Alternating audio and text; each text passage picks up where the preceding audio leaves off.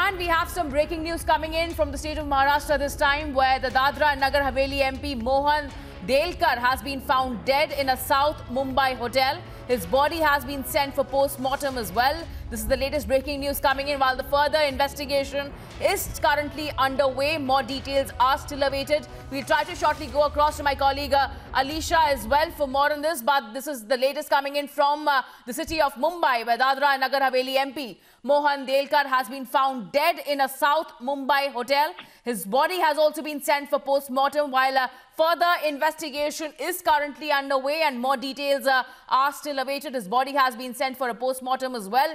This was the Dadra and Nagar Haveli MP, that is Mohan Delkar, who is allegedly found uh, dead and he has been found dead in a South Mumbai hotel. His body has been sent for a post-mortem.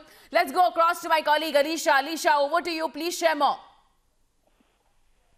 Rishabh जो information खुद कहा जा रहा है कि जो police की ओर से दी गई है कि दादा नगर हवेली की इंडिपेंडेंट एमपी मोहन देलकर जिनकी जो शव है, वो खुद मरीन ड्राइव की फोर्स होटल में मिली है और उसके बाद मुंबई पुलिस जो है वो इस मौके पर पहुँची है। पहुँचने के बाद जहाँ तक देखा जा रहा है कि पुलिस को खुद एक सुसाइड नोट जो है वो गुजराती लैंग्वेज में मिली है। इसके अभी और डिटेल्स बचे हैं कि उनके पास कोई है, क्योंकि अभी फ़िलहाल जो पुलिस वहाँ पर मौके पर मौजूद है, वो पंचनामा कर रही है और सुसाइड नोट के साथ साथ और कौन सी चीज़ें हैं, क्या वजह है उनके परिवार से संपर्क करने की पूरी कोशिश जो है वो पुलिस की ओर से की जा रही है, लेकिन अब तक जो प्राइमरी इंफॉर्मेशन जो बताई गई है कि सिर्फ़ जो इंडिपेंडेंट जो एमएलए है दादरा नगर हवेली के मोहन देलकर, उनकी बॉडी मुंबई साउथ बॉम्बे के मरीन ड्राइव के पास में ही एक होटल है इसी पर उनका शव मिला गया है मिलने के बाद जैसे वहाँ पर होटल के जो कर्मचारी हैं, उन्होंने ये जानकारी दी थी पुलिस को वैसे ही वहाँ पर पुलिस पहुँचे हैं।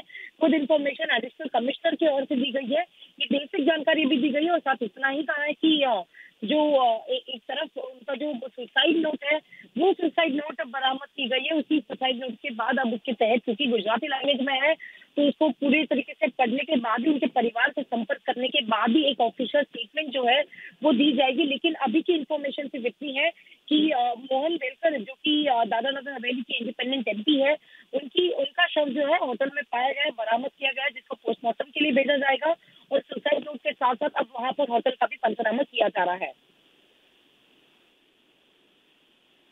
So, Alicia, prima facie, can we confirm the fact that there was a suicide note that was found near him? This is still uh, under investigation. And uh, any other update as far as the death of this MP is concerned?